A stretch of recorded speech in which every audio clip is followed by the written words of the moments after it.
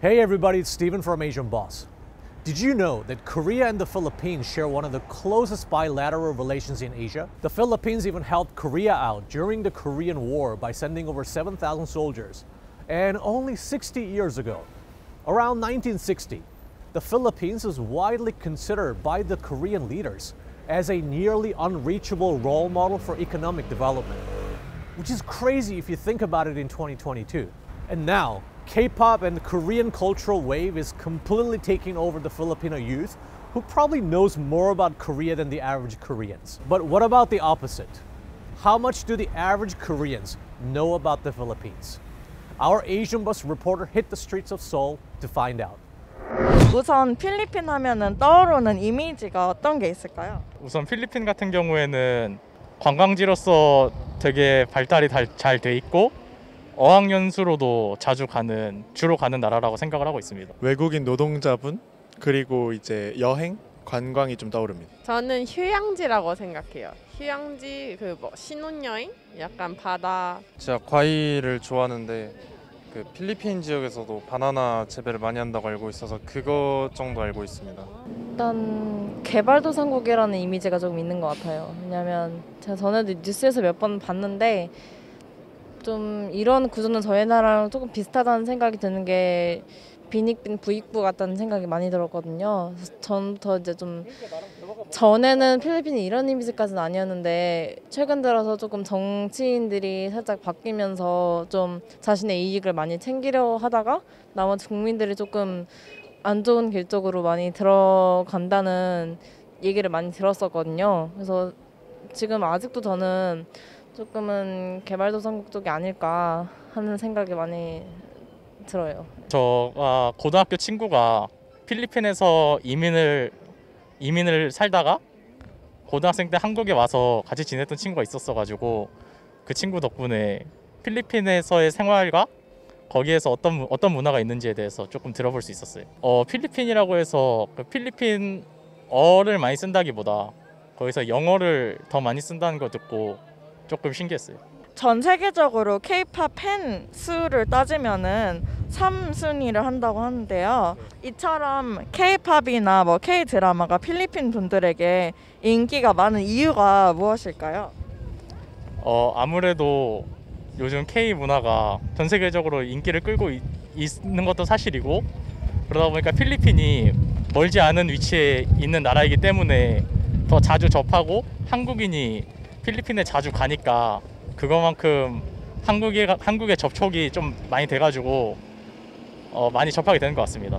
음, 아무래도 한국이 경제 성장이 더 빨랐잖아요. 먼저 이루어졌으니까 조금 그런 서구화된 것들이 먼저 들어온 것 같아요. 그래서 그런 서구화된 것들을 아무래도 추앙하는 경향이 현대 사회에 생겼다 보니까 좀 그런 면들을 더 따라가고 싶은 마음에서 근처에 있는 나라 중에서 있는 나라를 따라가는 것 같아요. 아무래도 필리핀의 좀 문화에 비해서 저희 나라 그 그런 케이팝 그런 문화들이 좀 더 잘 발달해 있고 쉽지 이제 좀 어렵지 않게 발견할 수 있는 게 그런 K 그런 문화에 대한 콘텐츠 이런 거가 아닐까 하는 생각이 들어서 전 비교적 그래도 찾기 쉬운 게 K 콘텐츠다 생각을 해서 그런 방식으로 조금 한류 팬이 늘어난 게 아닌가. 현재 한국에는 5만 명 정도의 필리핀 분들이 거주하고 계시는데 그렇다면 반대로 평균적인 한국 분들이 필리핀에 대해서는 얼마나 알고 있을까요? 그렇게 인지도가 많이 높진 않을 것 같다고 생각을 해요. 잘 모르는 것 같아요. 휴양지로만 알고 놀러 가는 것만 알고 뭐 다낭 뭐 약간 이렇게 베트남이랑 필리핀도 헷갈려 하니까 사람들이 어 그렇게 자세히는 모르는 것 같아요. 갔다 오지 않는 이상 그렇게 높지는 않, 않을 것이라고 생각을 합니다. 필리핀이 동남아 국가 중 하나인데 동남아에도 비슷한 문화권의 여러 나라가 있다 보니까 필리핀 하나의 국한에서만 얘기하지 않고 얘기를 하게 되면 동남아 전체에 대해서 얘기를 하게 되는 경향이 있어요. 한국 사람들이 필리핀에 대한 어떤 편견들을 갖고 있을까요? 어, 편견이라기에는 좀 그분들한테 좀 말씀드리기 죄송스럽긴 한데 1년 사시사철이 이제 따뜻한 기후에 있다 보니까 아무래도 조금 행동이 좀 여유롭고 좀 천천히 하는 그런 부분이 많은데 이제 대한민국은 빨리빨리 무너져나요. 그렇다 보니까 우리의 관점에서 그분들이 보면 답답함이 좀 느껴질 수 있다. 좀 그런 편견이 있지 않나. 젊은 분들은 어, 아무래도 많이 다녀보시고 하니까 편견이 적으신 편이 마- 적으신 편인 것 같은데 아무래도 어, 중장년층에서는 음, 아직까지는 피부색에 대한 편견이 조금 남아 있는 것 같습니다. 저는 그 외국인 노동자의 생활에 대해서 자세히 접해보지 못했지만 우리나라 내에서도 외국인 노동자 차별에 대한 문제가 아직 제법 많이 남아 있다고 들어서 좀 부당한 대우를 받고 일하는 외국인 노동자분들도 굉장히 많지 않을까 하는 생각이 듭니다. 한국 미디어에서 비춰지는 필리핀은 어떤 나라일까요? 예전에 국제수사라는 영화가 있었는데 그 영화에서 필리핀이 굉장히 좀 뭐 마약도 하고 뭐 좀 나쁜 이미지로 비춰져서 거기에 한국 경찰이 가서 범인을 잡으러 간다 이런 영화가 있었어요. 저는 그 영화를 안 봤는데 시놉시스만 봐도 어 좀 너무했다. 아무리 이미지가 그래도 그런 사람이 그렇지 않은 사람이 더 많을 텐데 어, 그렇게 단정 짓는 건 너무하지 않나 그런 생각이 있었거든요.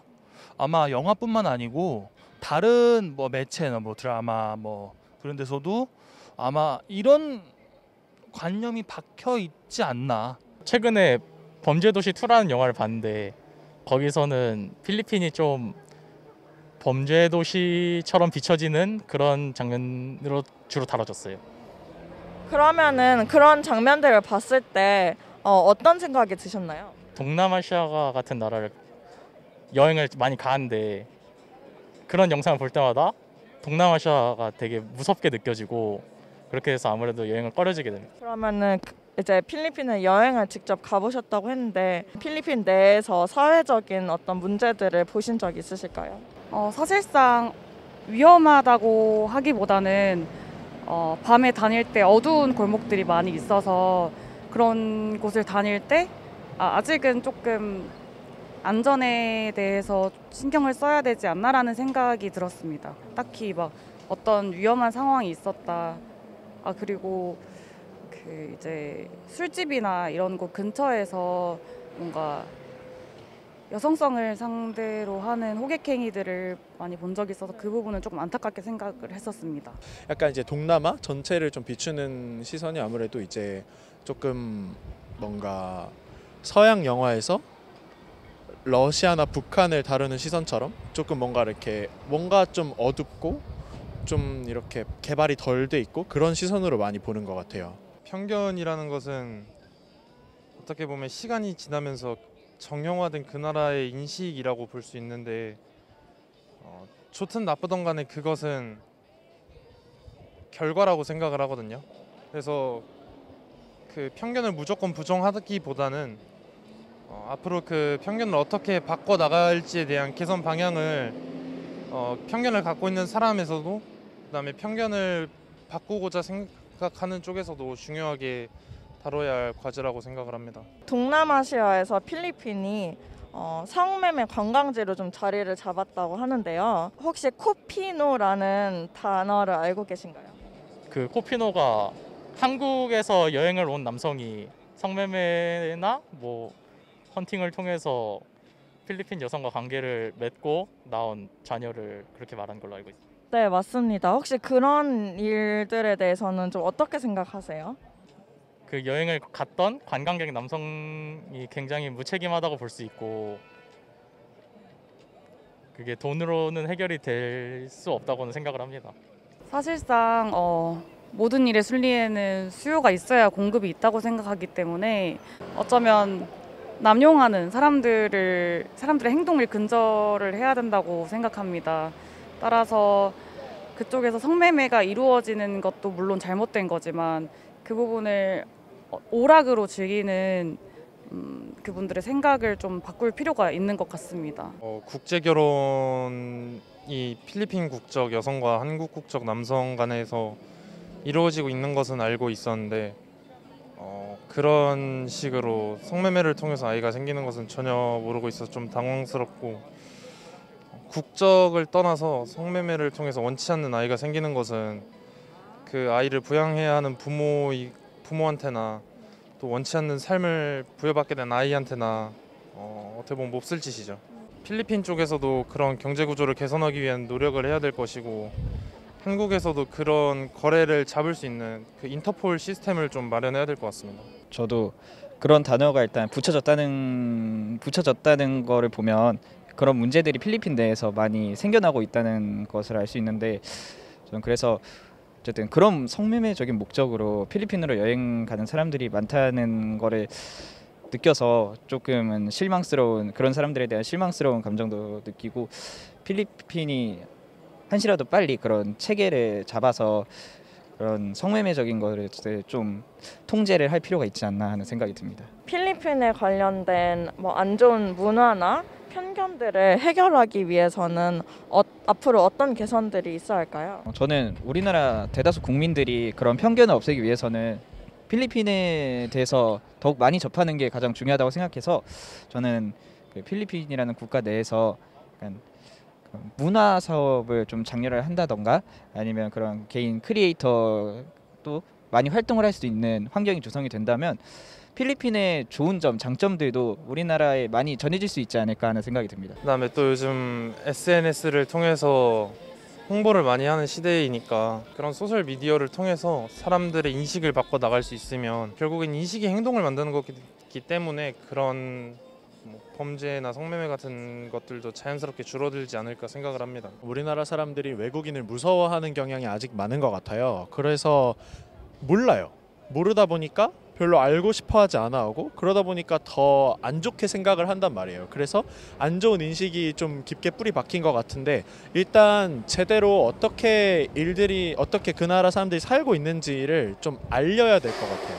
일단 먼저 알아야 그게 좋은지 아닌 나쁜지 판단을 할 수 있으니까 정확한 정보 전달이 제일 필요하다고 생각합니다. 네, 마지막으로는 저희 시청자분들 중에서 이제 필리핀에서 한국을 방문하고 싶으신 분들이 꽤 많으신데 그분들 위해 한 말씀 해주신다면? 어 제가 한국을 대표하는 건 아니지만 제가 생각했을 때 한국은 정말 아름다운 나라거든요. 그래서 저가 필리핀을 꼭 가보고 싶은 만큼 오셔가지고 좀 한국의 문화를 즐기셨으면 좋겠어요.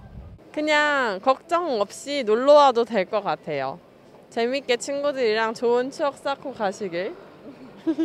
모든 대한민국의 도시가 다 미디, 필리핀 사람들이 미디어에서 접하는 그런 서울 같은 도시는 아닐 거라고 생각을 합니다. 그래서 잘 알아보고 오시는 게 좋을 것 같네요. 해외 같은 경우에는 조금 소매치기라던가 이런 게 정말 빈번한 문제로 이제 많이 화제가 되는데 저희 나라 같은 경우에는 이제 그래도 어디 뭐 카페 같은 데 이제 짐을 놔두고 와도 건드는 사람이 없고 이제 그냥 되게 안전하게 잘 다닐 수 있는 사회이니까 어, 안심하고 여행을 할 수 있다라는 장점을 좀 어필을 하고 싶습니다. 저는 우리나라 민족이 대부분 또 정이 많다고들 얘기하니까 외국인 분들이 이제 여행을 와서 뭔가 모르는 것이 생기거나 문제가 생겼을 때 길거리에 있는 사람들 아무한테나 물어봐도 대다수의 사람들은 도움을 주실 거기 때문에 그런 부분에 있어서 여행하기 좀 편한 나라가 아닌가 생각합니다.